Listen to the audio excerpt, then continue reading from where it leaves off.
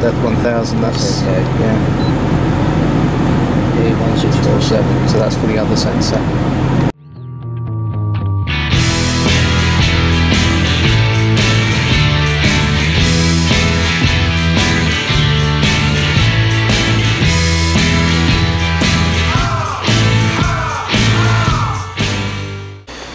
Right, so today's challenge is the upstream O2 sensors on 2003 S-Type R.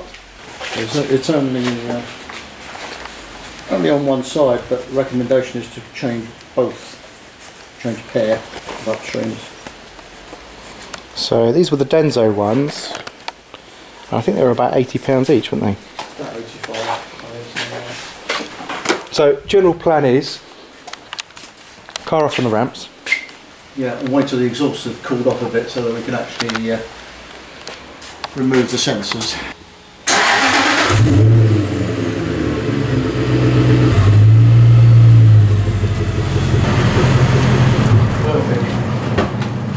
So you're going to take the splash guard off completely? Yeah, you could probably get, get to it without taking the guard off. But Yeah. But this this is the R version. Um, so on the near side cat you don't have the oil filter in the way like you do on the 3 litre version. The oil filter's at the front of the engine. Right, so this is the replacement. Right, okay, so this is fairly cool now. So there's a bracket here, which the connector is mounted to, so remove that, which I think is an 8mm. Okay, that's out of the way.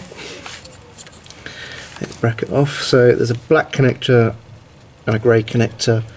We're removing the upstream sensor, so we want the grey connector. Yep. So just depress that clip, take that off, then remove remove the connector from the from the bracket itself. There we go. So you can use a spanner. We've got a removal tool here, Which is which is 22, isn't it? 22 mil, yeah. Get that on there snug. That's it. Okay. Just breaking that joint is the, is the worst bit. Once it's broken, it's fine.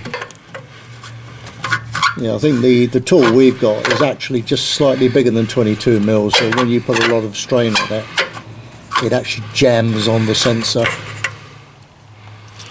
Right, so that's the old one out. Remove that.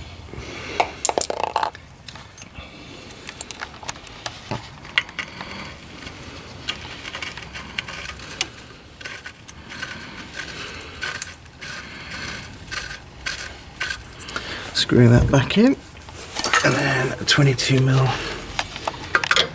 Smell that.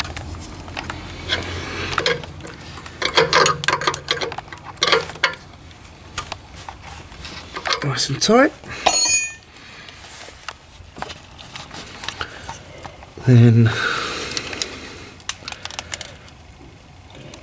we put this back on here.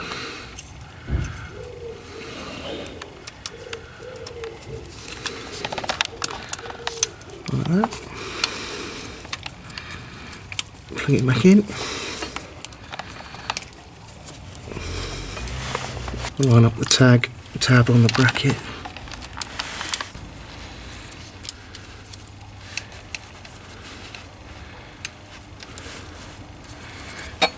Jobs are good. So faults are cleared.